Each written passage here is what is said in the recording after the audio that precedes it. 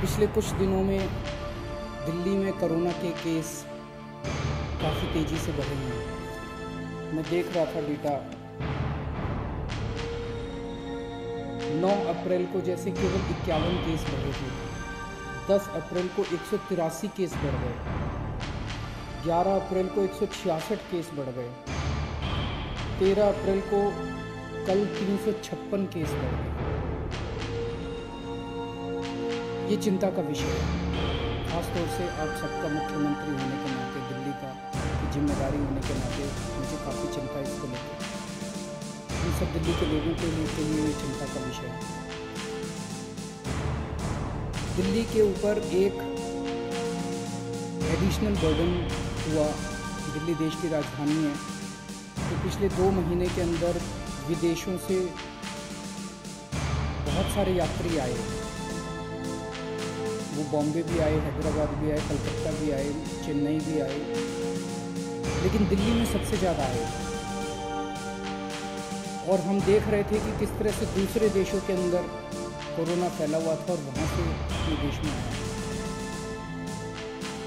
दिल्ली में सबसे ज़्यादा यात्री आए, इसलिए दिल्ली पे थोड़ा ज़्यादा बोझ उसका पड़ा। दिल्ली में एक और घटना घटी मरकज़ की। उसका भी एक एडिशनल बर्डन दिल्ली के ऊपर पड़ा। इन कारणों से दिल्ली के अंदर अभी केस थोड़े ज़्यादा हैं। पर हम सब लोग मिलके इसको संभाल लेंगे। ऐसा मेरा दिल कहता है, ऐसा मुझे विश्वास है। इस स्थिति को हम लोग संभाल लेंगे। अभी तक हमने संभाला, इसको ज़्यादा फैलने नहीं दिया। इतने सारे केसेस आए थे, इतने सारे केसेस हुए थे, इसको हमने ज़्यादा दिल्ली के अंदर फैलने नहीं दिया। और हम सब लोग इसको मिलके संभालेंगे। आज प्रधानमंत्री जी ने लॉकडाउन को तीन मई तक आगे बढ़ाया है। ये बहुत ज़रूरी भी था, क्योंकि अगर नहीं बढ़ाते तो फिर कोरोना और ज़्यादा फैल जाता। दिल्ली के अंदर हमें सबका साथ मिला है पिछले कुछ दिनों में। दिल्ली के लोगों ने बड़ी हिम्मत के साथ लॉकडाउन की जो जो शर्तें थी, उनका पालन किया है। अब आने वाले समय में भी अगर हमने दो तीन हफ़्ते और अच्छे से इसका पालन किया तो मैं उम्मीद करता हूँ कि हमें लॉकडाउन से, हमें कोरोना से मुक्ति मिल जाएगी। पिछले कुछ दिनों में हमने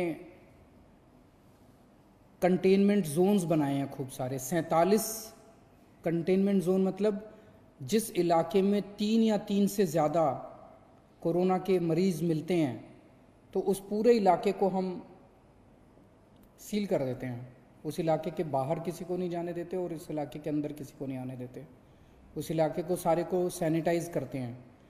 और भी कई सारे कदम। ऑपरेशन शील्ड वहाँ पे लागू किया जाता है, जो बेहद सक्सेसफुल है, ताकि वहाँ पे और कोरोना के पेशेंट ना फैल सकें। पूरी दिल्ली के अंदर सैनिटाइजेशन के लिए 60 मशीनों का हम इस्तेमाल कर रहे हैं। इनमें से 10 मशीनें हमने जापान से मंगवाई हैं। इसके अलावा चौदह हज़ार हमने कोरोना फुट वॉरियर्स की टीम्स बनाई हैं, जो कि पूरी दिल्ली के अंदर घर घर के अंदर जाके जहाँ जहाँ कंटेनमेंट जोन्स हैं, वहाँ पे घर घर में जाके, ये कोरोना से के बारे में अवेयरनेस फैलाएँगे सर्वेलेंस करेंगे आइसोलेशन करेंगे, कई सारे काम इन चौदह हज़ार टीम से करवाए जाएँगे। तो बहुत सारे कदम हम सब लोग मिलके उठा रहे हैं। आप सब लोगों को बहुत तकलीफ़ हो रही है, मैं जानता हूँ, मैं समझता हूँ।